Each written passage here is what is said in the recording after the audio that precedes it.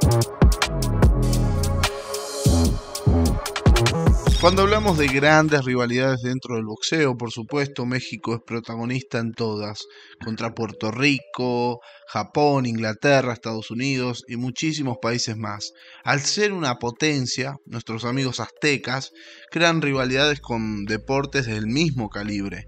La isla del encanto, Puerto Rico, pese a tener solo 100 por 35 de territorio, ha sacado muchos boxeadores históricos. Tienen al primer boxeador en ser campeón mundial a la edad más temprana, caso de Wilfred Benítez, al gran Félix Tito Trinidad, quien es, para nosotros, uno de los mejores boxeadores latinos de toda la historia, y por supuesto otros grandes como el caso de Miguel Cotto, quien es el primer boxeador puertorriqueño en ser campeón del mundo en cuatro diferentes divisiones. Pese a ser una pequeña isla, como dije, está plagada de talentos, aunque ayer fue una noche negra para el boxeo boricua.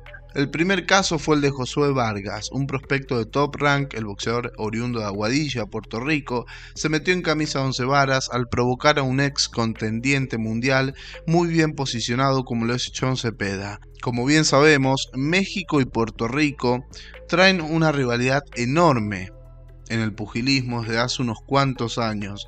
Aunque no hay punto de comparación entre uno y otro, siempre se disfruta ver un buen combate de boxeo entre México y Puerto Rico, lo que equivale, por ejemplo, en el fútbol, un Argentina versus Brasil. Retomando el tema, John Cepeda es un boxeador nacido en California, de sangre mexicana, él se considera mexicano y gran parte de su carrera la hizo en México. Hace dos años enfrentó a José Carlos Ramírez y perdió en una decisión cerrada.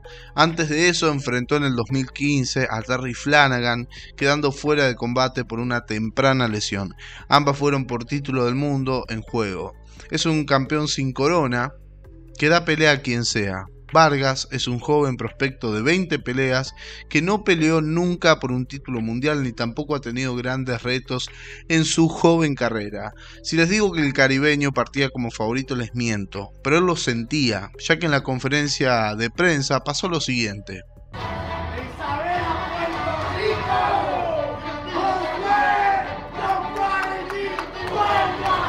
Lo que pudimos apreciar fue a Vargas intentando quitarle los cinturones a Cepeda. El puertorriqueño lo trató de viejito y en el pesaje, luego de muchas provocaciones, terminaron repartiendo puños para todos lados.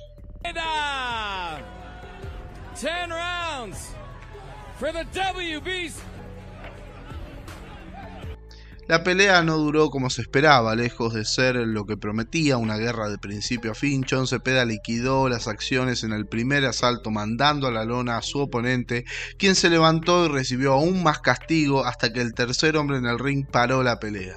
Por otro lado, Tomás Dulorme perdió también por nocaut en el primer round ante Nice. Jean Carlos Lobo Torres también cayó antes del límite. Y Carlos Purín Caraballo perdió en las tarjetas en lo que fue una noche muy amarga y de sequía para el boxeo de Puerto Rico.